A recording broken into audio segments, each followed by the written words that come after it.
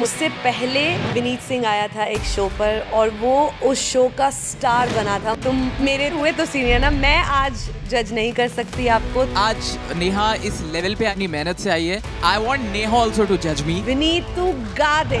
Indian दोस्तों ये है विनीत सिंह जो कि इंडियन आइडल इस सीज़न से पहले स्टार प्लस शो म्यूज़िक का महामुकाबला में शानदार गायकी से साल 2009 में काफ़ी पॉपुलर हुए थे। दोस्तों नेहा कक्कर और विनीत सिंह ने साथ में परफॉर्मेंस दिया था। और अभी नेहा कहाँ से कहाँ तक पहुँच गई है, और विनीत वही की वही रह गया है।